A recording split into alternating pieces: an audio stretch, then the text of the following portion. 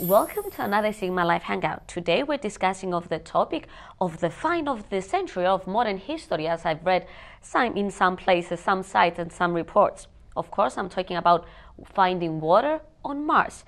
Today we're discussing the subject with the Vice Rector of the European University of Cyprus, an astrophysicist, the most ideal person to talk about this specific topic what does this mean? Is Marty the Martian going to come out and say hello anytime soon? Is there life in Mars?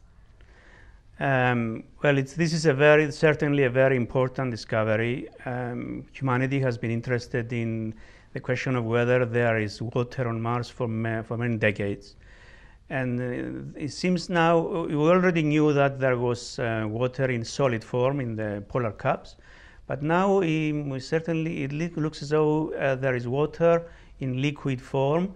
Um, and we know this from these observations from NASA, which show uh, streaks of um, stains, basically, of um, flowing water on the surface.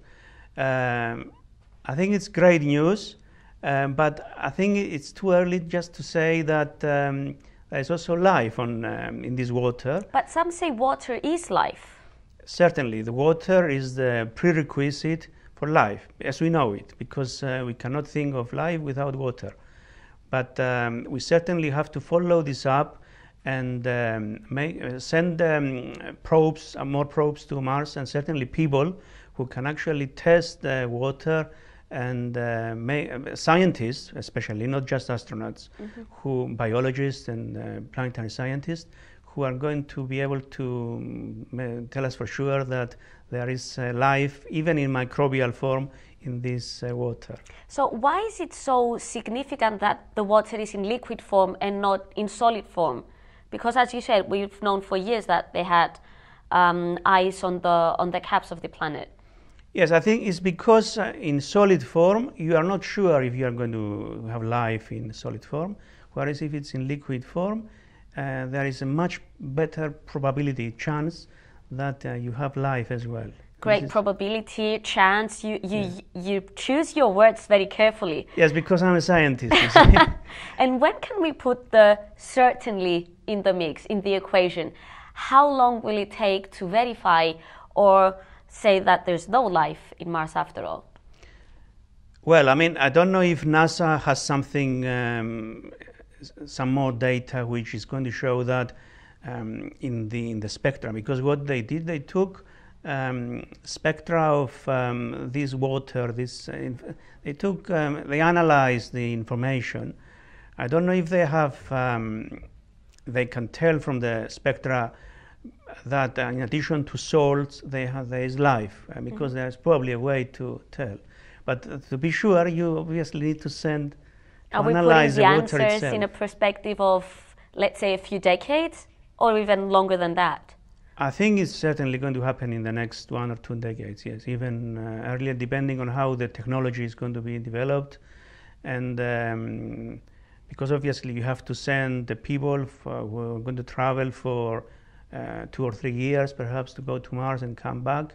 You need to make sure that um, the mission is going to succeed. And doesn't have to be just one mission because if they bring back, back that data, they need to check it and then go back and check it again. Maybe even have different forms of experiment, not just get samples of the liquid and say it's actual water and there's this microbial life in or not. Maybe they'll try to cultivate stuff on the planets because there's a whole rhetoric right now that maybe we should find other planets to inhibit. Maybe other other planets are already inhibited by other life forms. Yes, certainly it's going to be a complicated process, but um, the exciting thing is that um, by with this this discovery, you make sure that um, liquid water in planets which are in the right location mm. around the star have uh, liquid water because we have water on Earth, we can have on Mars so this opens up the whole possibility that uh, water uh, exists in lots of other planets if they are in the right location. And this uh, is great news for people who are interested in, uh, everybody's interested in life around other planets.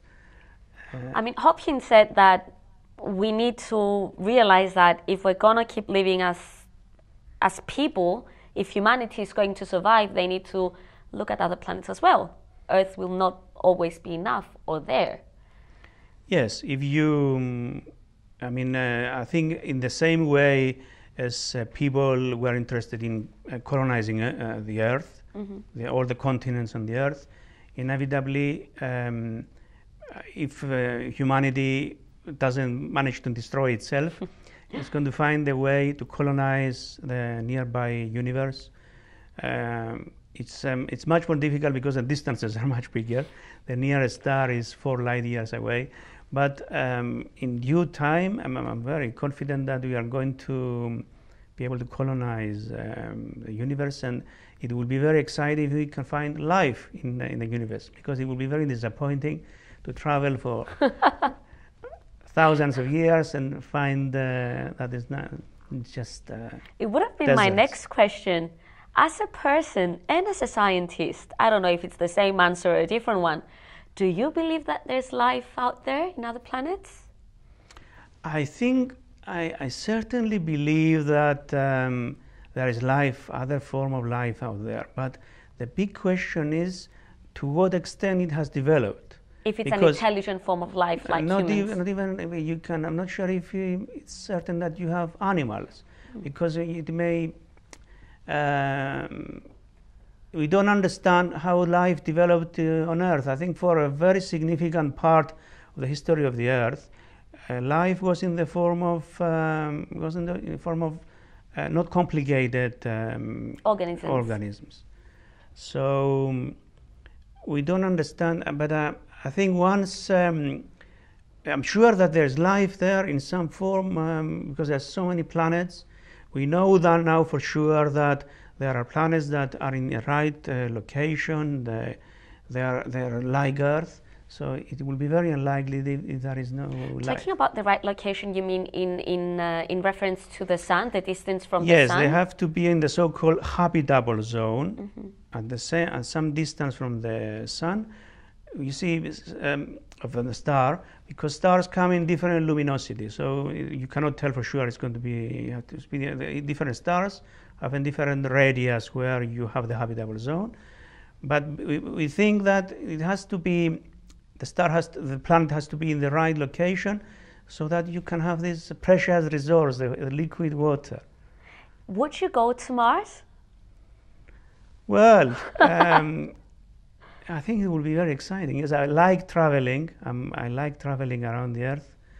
Uh, if I had the chance, I would go, but they will send somebody younger probably, or uh, more um, somebody who will be able to um, uh, contribute more to a mission like this, probably, than just, I'm just an astrophysicist. Uh. Well, it's not just for some of us that it's really exciting in itself. yeah.